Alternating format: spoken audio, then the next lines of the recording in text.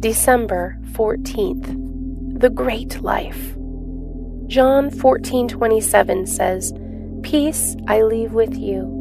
My peace I give to you. Not as the world gives do I give to you. Let not your heart be troubled." Whenever we experience something difficult in our personal life, we are tempted to blame God.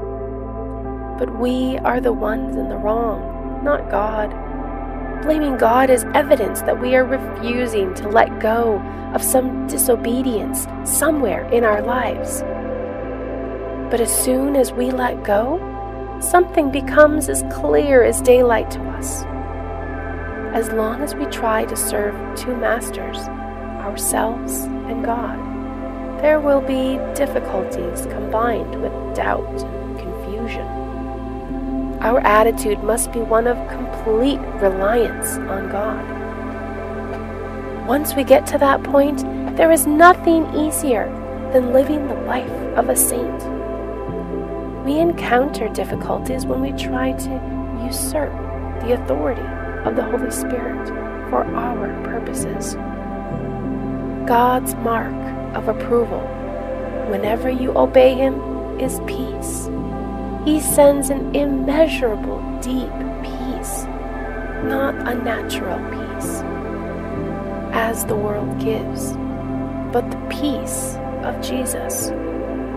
Whenever peace does not come, wait until it does or seek to find out what why it is not coming. If you are acting on your own impulses or out of a sense of the heroic to be seen by others, the peace of Jesus will not exhibit itself.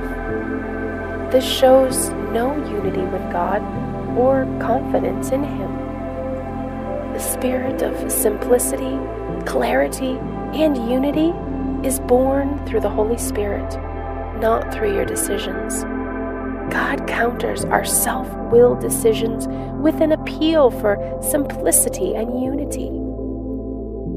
My questions arise whenever I cease to obey. When I do obey God, problems come, not between me and God, but as a means to keep my mind examining with amazement the revealed truth of God.